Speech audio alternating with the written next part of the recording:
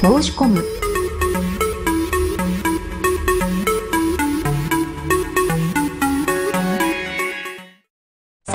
佐藤綾の愛道で冬季五輪の日本女子最年少金メダリスト菊池彩香も復活。石形平昌五輪第13日逆三角スピードスケート女子団体追い抜き決勝。21日絵にささぎオーバル女子団体追い抜きで日本が金メダルに輝いた。カナダとの準決勝は高木美帆23イコール日体大女子イコール高木彩奈25イコール日本電産三強イコール菊池彩香30イコール富士急イコールで臨み決勝は菊池に変えて佐藤綾の21イコール高崎拓康次第イコールを起用。2分53秒89の五輪新記録で前回覇者のオランダを下した。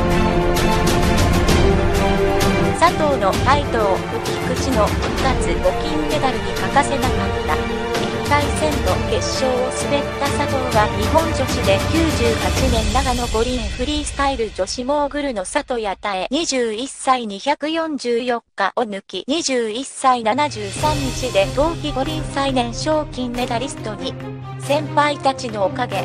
感謝の気持ちでいっぱいですと声を弾ませた。準決勝をぬめり決勝は応援に回った菊池は世界で一番美しいラインを描いていこうと仲間を送り出し信じる気持ちが絆となって結果につながったと思う。スケート人生で最高の1日と感極まった。佐藤は作品終了後保育士を夢見てたよう高崎武康福祉大の学長を訪ねた。トップ選手がいる中で力をつけたい。ナショナルチームへのフル帯同を希望する佐藤のために学校側はリポートや課題を作成。パソコンでやり取りし合宿中も勉強できる環境を整えた。この環境で練習できることが奇跡佐藤という前例のないサポートに金メダルで恩返しした。菊池は16年夏練習中に右足に傷口が20センチまで開く大怪我を負った。医師に全治1年か2年。